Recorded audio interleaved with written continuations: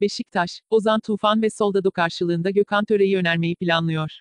Fenerbahçe'nin kadro dışı bıraktığı Ozan Tufan ve forma şansı bulmakta zorlanan İspanyol golcü Roberto Soldado için Süper Lig ekibinden çarpıcı bir takas önerisi geldi. Fenerbahçe'de kadro dışı kalan Ozan Tufan için ezeli rakip şimdiden çalışmalara başladı. Fotomacın haberine göre, sezon başında Ozan Tufan'ı almak için Fe, Bahçe ile temasa geçen siyah beyazlıların, Ozan için bir kez daha nabız yokladığı öğrenildi. Beşiktaşlı yetkililerin, şu anda Fe, Bahçe U21 takımıyla çalışan Ozan Tufan ile birlikte Roberto Soldado için de Gökhan Töre takasını gündeme getirdikleri iddia edildi. Fenerbahçe'de Damian Komollu ve Filip Cocu tarafından kadroda düşünülmeyen Ozan Tufan için yeni bir teklif gelmesi halinde, Sarı lacivertlilerin, Beşiktaş ile masaya oturması bekleniyor.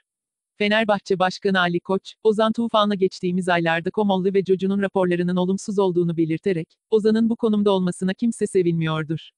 Komollu ile benim Ozan'dan beklentimiz yüksekti. Potansiyelini bildiğimiz için kampa da çok fit geldi, 8 kilo vermişti.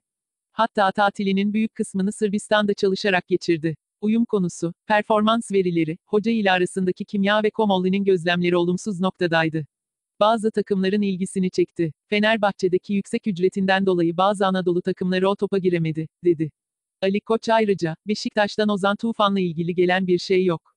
Beşiktaş'tan birçok oyuncuyu barındıran takas teklifi geldi ama bizim kabul edemeyeceğimiz bir teklifti, diye konuşmuştu. Fanatik gazetesine konuşan Ozan, zaman zaman U21 takımında şans buluyor. Sıkı bir şekilde çalıştığını belirten genç futbolcu, U21 takımına abilik yapıyorum.